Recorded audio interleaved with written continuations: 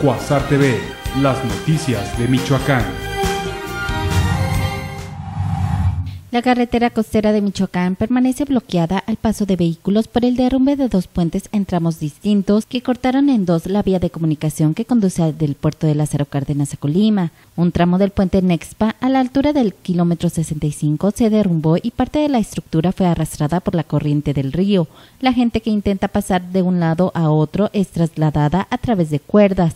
Trabajadores de la Secretaría de Comunicaciones y Transportes y del Ayuntamiento de Lázaro Cárdenas, Michoacán, trabajan de día y noche para restablecer las estructuras y un tramo de la carretera que se fracturó. Autoridades estiman que tardarán varios días en rehabilitar las estructuras dañadas. Con información de redacción, informa Cuasar TV.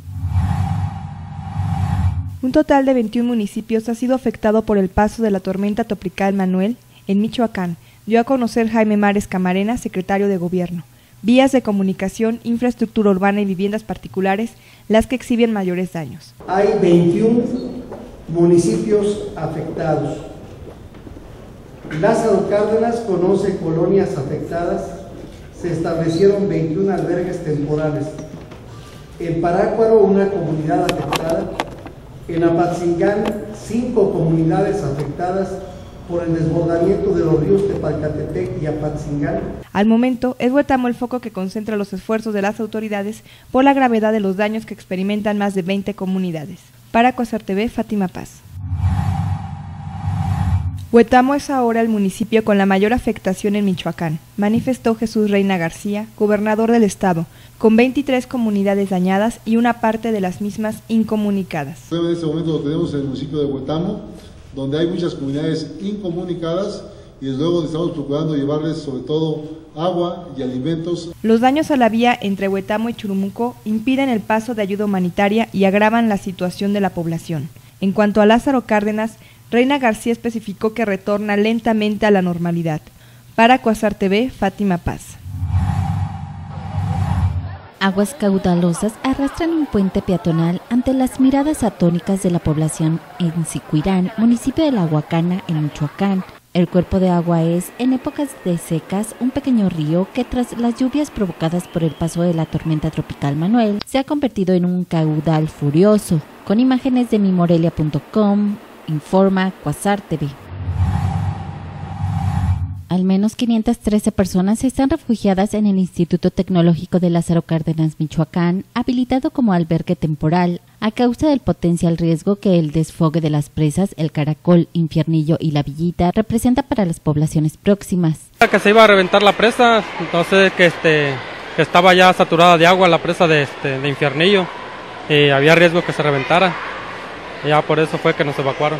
La mayoría de los albergados son de localidades como Plutarco Elías Calles, en la tenencia de Guacamayas, Michoacán, Zacatula y El Naranjo, municipio de la Unión, Guerrero, afectadas por la tormenta tropical Manuel. Con información de Olaf Trujillo, informa Cuasar TV. Más de 105 exservidores públicos de la administración estatal pasada han sido inhabilitados por la Coordinación de Contraloría del Gobierno de Michoacán por falsificación o pérdida de documentos y algunas otras omisiones. Son alrededor de 975 procedimientos de responsabilidades. De esos, 683 ya han sido resueltos. Ya contamos con la resolución definitiva. La auditoría que realiza la Contraloría a la cuenta pública de la administración pasada concluirá a más tardar el 15 de octubre para determinar si existen más sanciones contra exfuncionarios que van desde jefes de departamento hasta secretarios.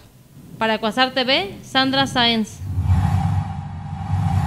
Tras cuatro días y transporte de pasajeros por la tormenta tropical Manuel en la terminal de autobuses de Lázaro Cárdenas, operadores y usuarios aguardan el restablecimiento de las comunicaciones. De la mira nos regresaron aquí a Lázaro Cárdenas porque no, no hay pasada ni por la autopista ni por la federal.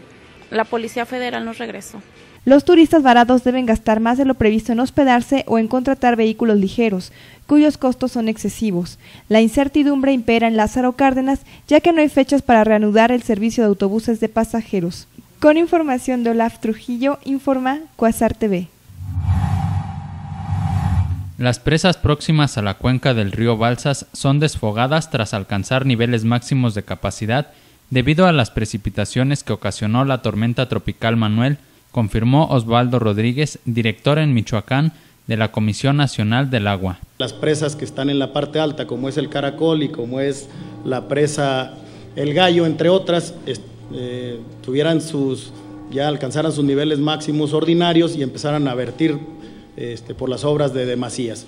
Entre 12.000 y 33.000 millones de metros cúbicos por segundo fue el tránsito del agua desfogada de las presas cercanas a la cuenca del Balsas.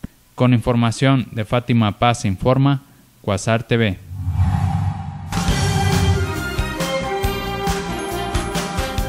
Cuasar TV, las noticias de Michoacán.